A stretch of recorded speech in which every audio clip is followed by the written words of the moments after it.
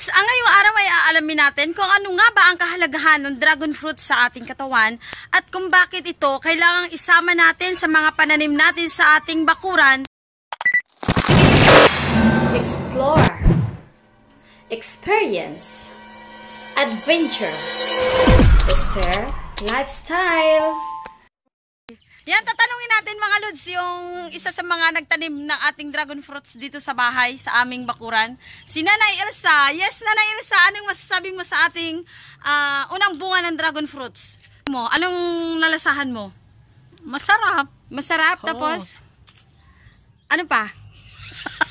ano ba, Nanay? Kunyari lang, Nanay, ano pa? Maraming bunga. Ah, maraming bunga, maraming bunga. So, ayan si nanay. Yan mga Lods, taong 2019, ah, year 2019, nagdala ako nito ng dalawang perasong kaputol nito. Yan, dalawang perasong sanga ng dragon fruit. So, nagdala ko niyan. Ah, dinala ko siya dito sa bayan ng San Vicente dito sa aming bakuran. So, dinala ko yan, pasalubong ko kay nanay para itanim niya dahil masipag nga si nanay magtanim ng mga ah, prutas. So, nagdala ko para sa kanya. Ito ay from Espanyola pa. Oh, from Municipality of Soprano, Espanyola. So, mas marami na dun sa amin sa Espanyola. Sabi ko, bakit hindi ko kaya dalhan ng dragon fruit si nanay para maakatanim din siya doon. Para matikman din nila yung yung bunga, yung masarap na bunga ng dragon fruits. So, ngayong 2020, 2023 na, so mas, malap, mas marami na siya.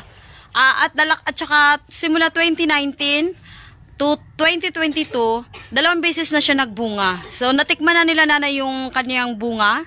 Ah, masarap daw. Pero sa una, parang hindi nila nagustuhan yung lasa. Kasi yung, kung mapapansin nyo yung dragon fruits natin, kapag uh, nabiak nyo sa, sa gitna, may mga itim-itim doon ng mga ano, buto-buto. Una, hindi na nagustuhan yung lasa, yung klase ng pagka-prutas niya. Pero nung katagalan na napaulit-ulit nilang kain, na- nasarapan din sila. So alamin natin kung ano ang mga benepisyo na binibigay sa atin ng dragon fruit sa ating katawan. Let's go! Ang dragon fruit ay sagana sa fiber na kilalang tumutulong sa digestion. Ito rin ay tumutulong na stabilize ang level ng blood sugar at ginagawang normal ang blood sugar. Pinipigilan nito ang biglaang pag-akyat ng asukal sa katawan pagkatapos makakain ng anumang high glycemic food. Naglalaman din ito ng dietary fiber kaya't mainam ito sa kalusugan. Higit pa sa taglay nitong mahalagang nutrisyon, ang dragon fruit ay nagbibigay ng kapaki-pakinabang ng mga plant compound tulad ng polyphenols, carotenoids at beta-cyanins na tiyak na makakatulong sa pagprotekta sa katawan laban sa iba't ibang sakit. Bagaman ang fiber ay marahil kilala sa papel nito sa digestion o pagtunaw, Iminumungkahi din ang pananaliksik na maaari itong magkaroon makatulong sa pagprotekta laban sa sakit sa puso, pamamahala ng type 2 diabetes at pananatili ng malusog na timbang.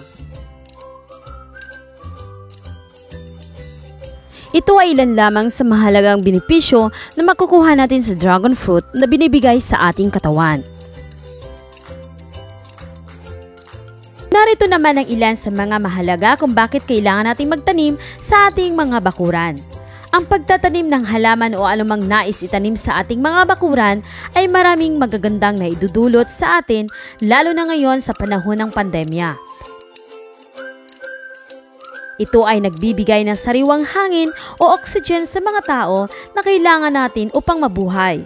Ito rin ay nagbibigay din ng kasiyahan sa mga tao dahil ito ay naging isa sa mga panlibangan ng karamihan. Ito ay nagbibigay din ng aliwalas sa ating bakuran, nagbibigay kulay sa ating mga tahanan at nagbibigay lakas din sa ibang tao. Dahil ang mga halaman ay may kakaibang taglay sa mga tao.